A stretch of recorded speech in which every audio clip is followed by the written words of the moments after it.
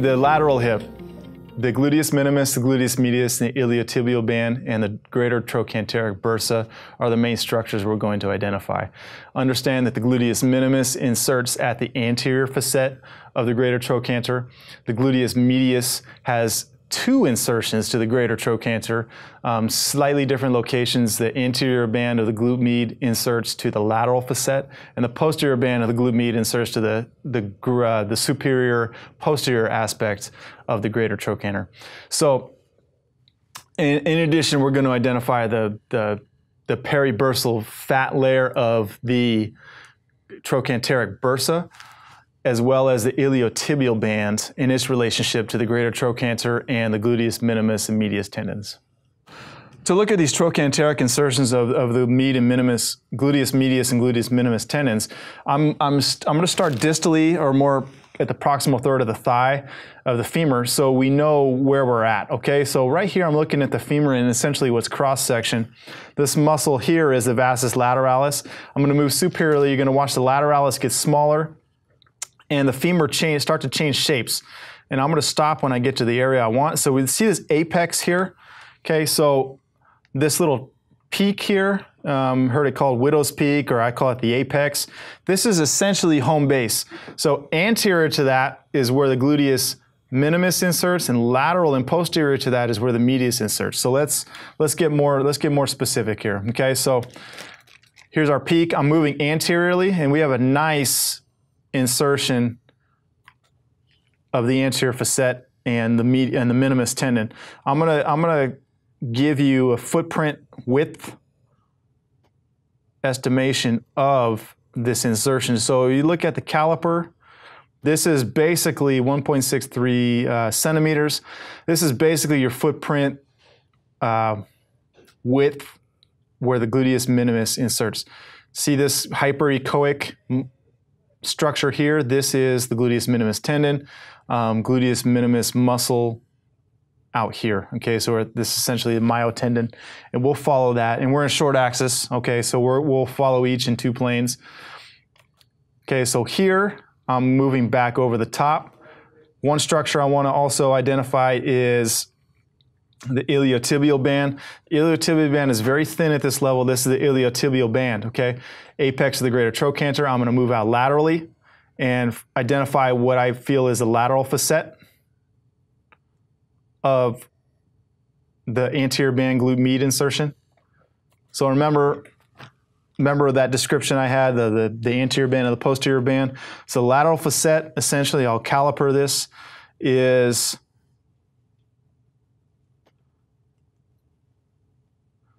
here to here. And then this drop off out here would be our posterior superior facet, and we can identify that separately. Okay, so we see this drop off out here. This is the whole, we're covering the whole glute med insertion now. Okay, so we'll separate this for for the viewers who are novice so we can we can hear from here and I'm, I'm estimating, don't, don't take me literally. This is about the lateral facet, and then from here, the second where the X is out, this is our posterior superior facet. So in total, we got about 2.44 centimeters of attachment zone, okay? As I, as I said earlier, the most of your pathologies are gonna happen along the anterior facet of the anterior band glute med insertion, okay? So this hyperechoic structure here is our cross-section view, our short axis view of the anterior band of glute med. And as we move out laterally and posteriorly, this it gets thinner. Okay, this is the uh, posterior band of the glute med. Okay, and then over the top over here and superficial, this is the iliotibial band. It's a little thinner at this level, and if you're unsure, just internally and externally rotate the patient. Rotate the hip and watch, watch those structures move. See the minimus where the cursor is, it's moving. It's kind of abutting the iliotibial band above it. See it is displacing some of that tissue there so we can, just for reference sake, be able to look at that. And also, this is a nice little thing you can do when you're sometimes if there's a frank tear, some retraction, you can you can you can see some tendon voiding in this in these pictures. So, and this is again, this is one of those things that's more art than science. There's no there's no universal way of of looking for that. I, I think each clinician is going to have their own style in terms of looking for those things. Now, I, I hit that very quickly. Um, but and just to highlight that point, don't take me literally on on some of those. That's not that's not the be all end all special test of looking for tears. Uh, I'm going to turn it long axis in this picture on the anterior facet of the glute uh, minimus insertion. Okay, so what I have here is a nice picture. This is the glute min insertion in long axis now. Over the top, See this fibers here, these longitudinal fibrillar patterns. This is the iliotibial band. It's kind of dropping down as it, as it moves distally. Okay, so minimus. I'm going to sweep. I'm going to keep the distal end fixed. I'm going to sweep the proximal end of the probe, lateral and posterior. And this is no two footprints are the same, no two tears are the same, no two patients are going to have the exact same anatomy. This is in this picture here, the anterior band of the glute medius, okay? Thicker facet, thicker insertion. Most of your pathology is going to be here. We have our bird's beak appearance of the tendon insertion and long axis. Okay, now I'm going to move it posteriorly. Look at the posterior band of the glute min.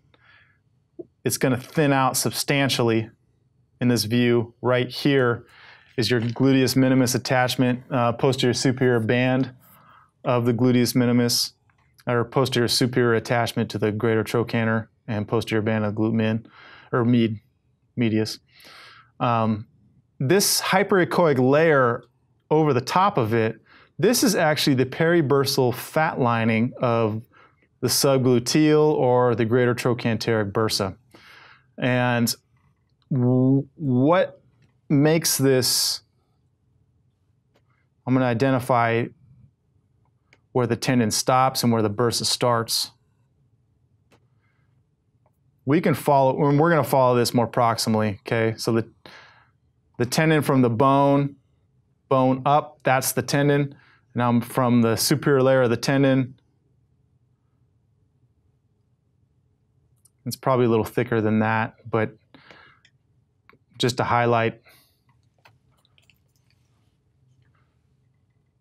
just to highlight the difference. Um,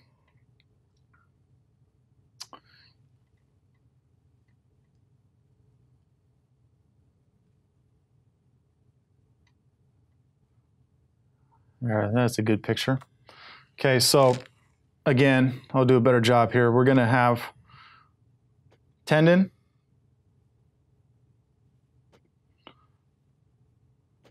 And bursa. Here. So this bright white structure coming over the top is our bursa. This is actually glute max on the top, so I'm getting a slice of the glute max. Okay, and the subglute max bursa, the trochanteric bursa, is this bright hyperechoic line, and it's hyperechoic because it, it's it's it's a it, it contains a lot of fat. Fat fat is hyperechoic. It's fascia.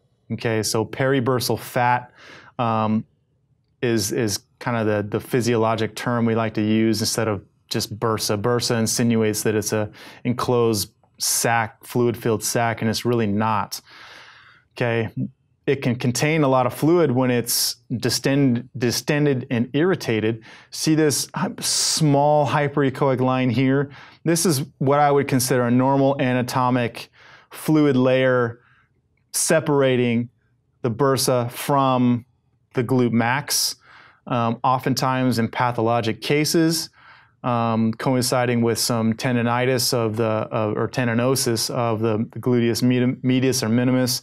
You'll have some distension, meaning this this thin layer gets a lot wider in diameter um, when it's irritated. So we covered a lot of ground there with our with our with our lateral hip. So I'm We'll walk it back. I think I want to start again in the short axis just so you guys can follow along once again in Remember where we started? Distally, uh, distally on the thigh. We're at the proximal third. Okay, we have the cross section of the femur in this picture, vastus lateralis. And for you novices, we really want to start in this view and move superiorly. Watch the watch the structure, watch the shape watch the shape change of the femur as we move superiorly. It's going to move to a peak in this view, and I'm going to freeze. So this is the view you want to start with, okay? And then identify what's anterior, what's lateral, and what's posterior. And from there, review, review what I just went over as far as what constitutes the footprints of the medius or the minimus anteriorly, and then the medius lateral and posteriorly, as well as where the iliotibial band sits. This is the lateral hip exam.